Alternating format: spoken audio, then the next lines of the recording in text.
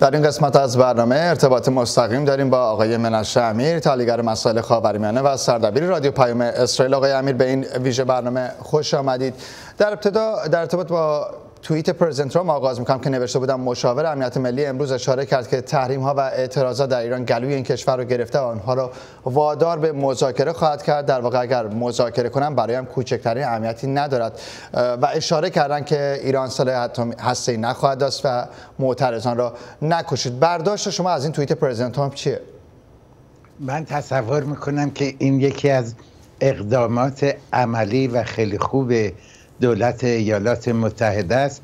پس از همه اظهارات شفاهی که مردم ایران زیاد شنیدن و داشتن بهش خو می گرفتن انتشار توییت به زبان فارسی و خواستار شدن از حکومت ایران که از کشتار دست برداره می‌تونه خیلی موثر باشه. آقای امیر در مورد اون بخش که اشاره کردم به بحث اینکه مذاکره دیگه برام خیلی اهمیت نداره و تاکیدشون روی این بود و بعد در کنارش هشدار دادن به مقامات که معترضان رو نکشه بیشتر در مورد اون بخشش از خدمتتون پرسیدم.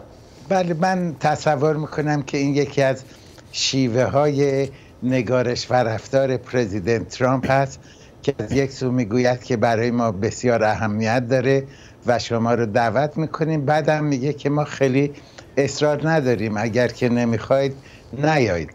این شیوه رفتاری و سیاستگذاری پرزیدنت ترامپ هست که به حکومت ایران نشون میده که اگر کسی رنج می‌بره و در فشار هست رژیم ایرانه و نه ایالات متحده. ایالات متحده به عنوان یک کشور بزرگ و پرقدرت به آسانی می‌تونه از مذاکره با حکومت ایران بگذره به خاطر اینکه امکانات دیگری داره. تحریم ها هنوز به پایان نرسیده. یکی از تحریم هایی که ایالات متحده می‌تونه بکنه ممنوعیت پرواز به داخل ایران هست و این یکی از تحریم هایی بود که در واقع کمر رژیم لیبی رو شکست و اون رو ناچار کرد که برنامه های ده ساله اتمی خودش رو متوقف بله. بکنه. آقای امیر اما در ارتباط با تحولاتی که در درون ایران رخ داده شاید بودیم که امروز این اعتراضات هم ادامه داشت و به شهرهای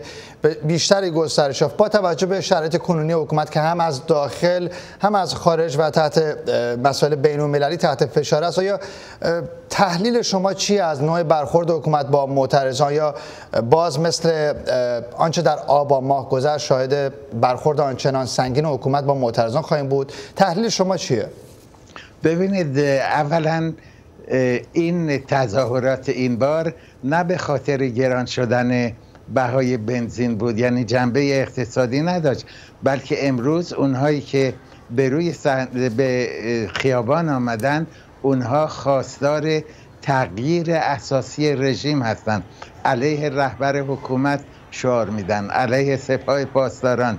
در واقع تمام اون پایه های حکومت رو مورد انتقاد قرار دادن و خواستار تغییرش هستند این اهمیت بسیار زیادی داره. دانشجویان امروز این تظاهرات رو هدایت می‌کنن. ما می‌بینیم که هنرمندان ایران به این اقدامات اعتراضی پیوستن. اگر اخشار دیگر مردم ایران هم بپیوندند حکومت در با مشکل بسیار بسیار بزرگتری روبرو خواهد شد و خطر فروپاشیش بیشتر میشه در حال حاضر این تظاهرات ادامه داره بعد بله. روز دوم ادامه پیدا کرد و اگر باز ادامه پیدا کنه و اگر اخشار دیگری از مردم ایران به اون بپیوندند حکومت در وضع بسیار دشواری قرار خواهد گرفت بله. توجه بکنیم که دیروز هم که میشه امروز به وقت شما دیروز هم اونها از تیراندازی ها خودداری کردن و بله. اگر گلوله به کار بردن گلوله های ساچمه ای بود سپاس از حضور شما در این ویژه برنامه آقای منشه امیر تحلیلگر مسائل خاورمیانه و سردبیر رادیو پیام مستقیم از اورشلیم